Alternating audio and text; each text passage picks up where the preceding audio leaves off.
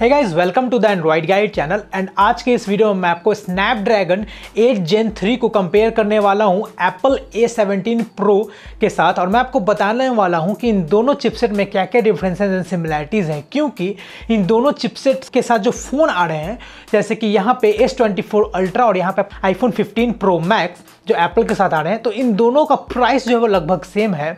तो उस price segment में, उस फ्लैगशिप सेगमेंट में आपको दो प्रोसेसर देखने को मिल रहे हैं। तो इन दोनों प्रोसेसर का परफॉर्मेंस कैसा है, उसके बारे में आपको आज पता चल जाएगा कि कौन सा चिपसेट के साथ जो फ़ोन है वो बेटर परफॉर्मेंस देगा। सो गाइस चलिए वीडियो में आगे बढ़ते हैं। बट उससे पहले, अगर आपने मेरी चैनल को सब्सक्राइब नहीं किया है तो आप मेरी चैनल को सब्सक्राइब कर ले। बेल आइकन प्रेस कर दें, ताकि जब भी मैं वीडियो डालूं, तब आप तक नोटिफिकेशन पहुँच सके। तो चलिए वीडियो में आगे बढ़ते हैं।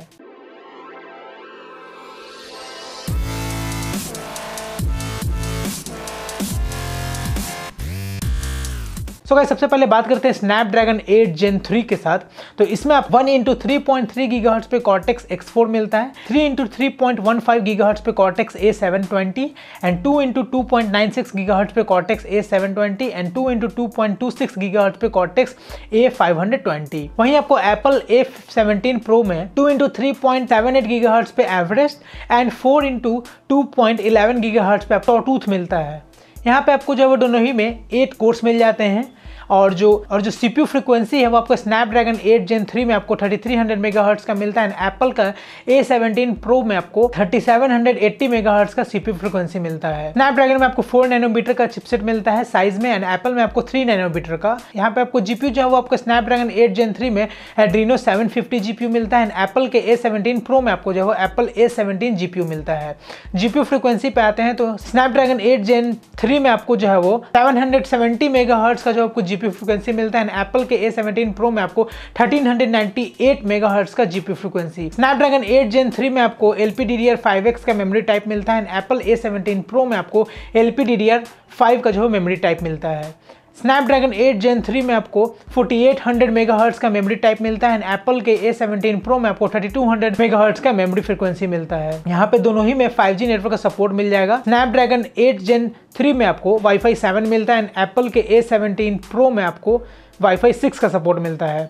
स्नैपड्रैगन में आपको ब्लूटूथ 5.4 मिलता है एंड एप्पल में आपको ब्लूटूथ 5.3 सो गाइज़ ये तो हो गए कुछ इंटरनल स्पेसिफिकेशन अब बात करते हैं कि यहाँ पे परफॉर्मेंस कैसा है। तो सबसे पहले सीपीयू परफॉर्मेंस पे आते हैं। तो सीपीयू परफॉर्मेंस जो है वो आपको स्नैपड्रैगन 8 जेन 3 में बेटर मिलता है in compare to Apple A seventeen Pro gaming performance में भी आपको स्नैपड्रैगन में आपको बेटर परफॉर्मेंस मिलता है एप्पल ए सेवनटीन प्रो से. बैटरी लाइफ में आपको स्नैपड्रैगन 8 जेन 3 से better performance Apple A seventeen Pro में मिलता है। नैनो रिव्यू स्कोर पे आते हैं तो यहाँ पे आपको स्नैपड्रैगन 8 जेन 3 जो है, ये बेटर परफॉर्मेंस दे रहा है।